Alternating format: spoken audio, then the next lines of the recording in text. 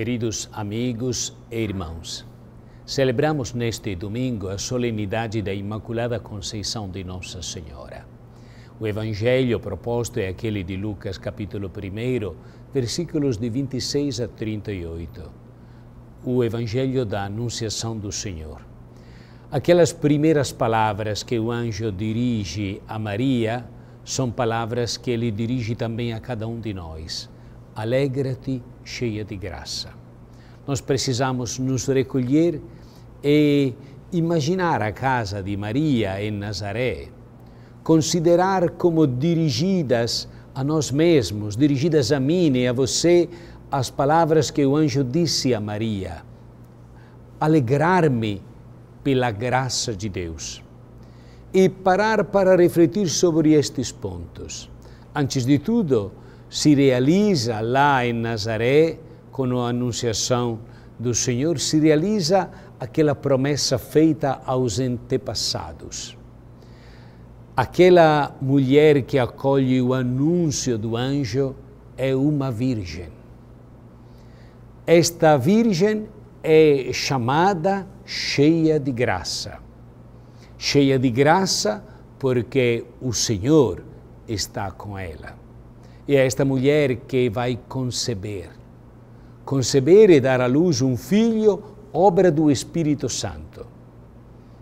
E prontamente esta jovem virgem de Nazaré, Maria, responde e dá a sua adesão plena ao Senhor, dizendo: Eis aqui a serva do Senhor, faça-se em mim segundo a tua palavra.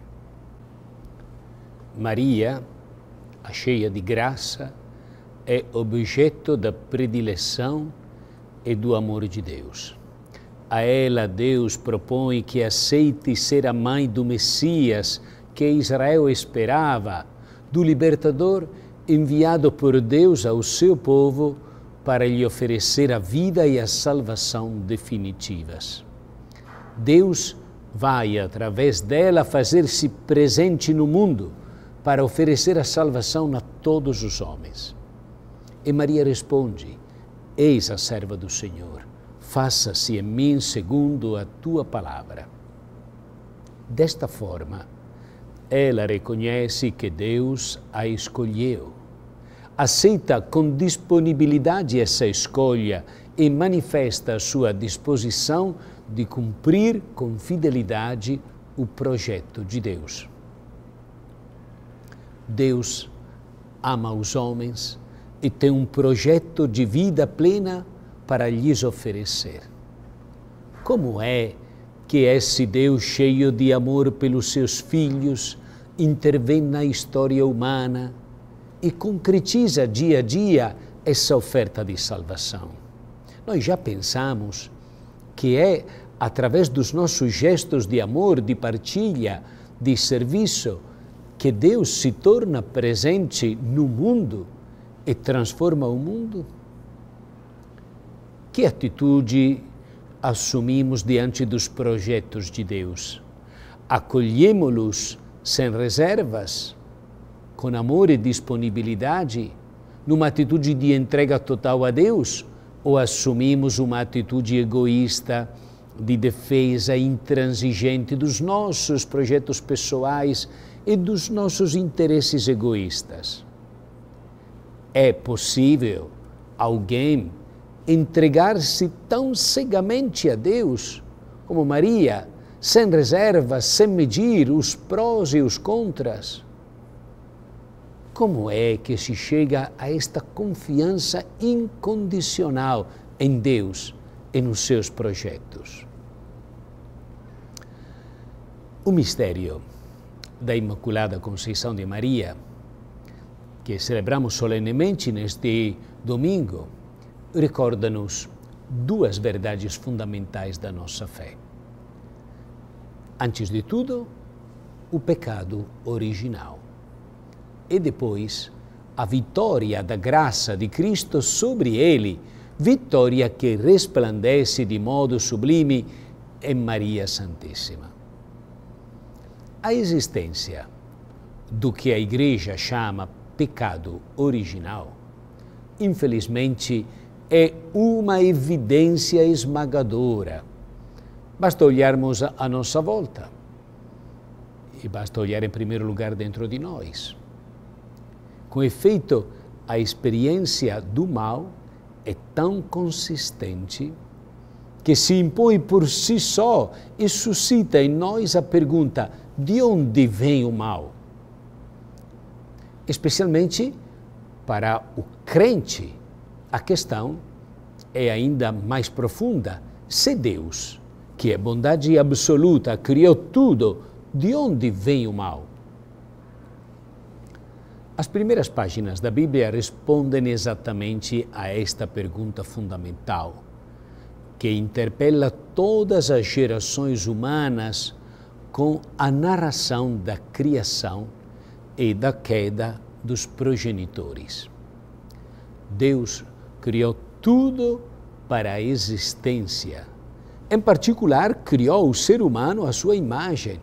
Não criou a morte, mas ela entrou no mundo, como diz o livro da sabedoria, pela inveja do demônio, que, ao revoltar-se contra Deus, atraiu para o engano também os homens, introduzindo-os à rebelião.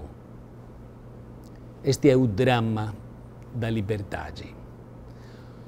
Da liberdade que Deus aceita até o fim por amor. Prometendo, contudo, que haverá um filho de mulher que esmagará a cabeça da antiga serpente. Esta é a promessa feita no livro do Gênesis. Por conseguinte, desde o princípio, o eterno conselho, como diria o poeta italiano Dante, tem um termo fixo. A mulher predestinada para ser a mãe do Redentor. Mãe daquele que se humilhou até o extremo para nos conduzir à nossa originária dignidade. Esta mulher, aos olhos de Deus, desde sempre, tem um rosto e um nome, cheia de graça, como foi chamada pelo anjo que a visitou em Nazaré. É a nova Eva, esposa do novo Adão, destinada a ser mãe de todos os remidos. Assim escrevia Santo André de Creta a Theotokos, Maria, a Mãe de Deus, o refúgio comum de todos os cristãos, foi a primeira a ser libertada da primitiva queda dos nossos progenitores. E a liturgia deste domingo afirma que Deus preparou uma digna morada para o seu filho e, em previsão da sua morte, preservou-a de toda a mancha de pecado. Em Maria Imaculada, nós contemplamos o reflexo da beleza que salva o mundo. A beleza de Deus que resplandece sobre a face de Cristo. Em Maria, esta beleza é totalmente pura, humilde, livre de qualquer soberba e presunção. Assim, a Virgem mostrou-se a Santa Bernadette há 150 e cinco anos atrás em Lourdes.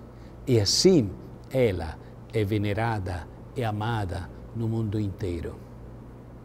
Agora nós invoquemos com confiança a Virgem Imaculada, retomando as palavras do Evangelho que a liturgia propõe à nossa meditação.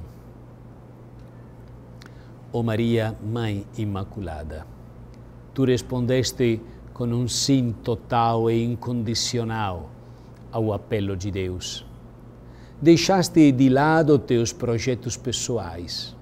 Em ti não há qualquer sinal de egoísmo, de comodismo, de orgulho, mas há uma entrega total nas mãos de Deus e um acolhimento radical dos caminhos de Deus.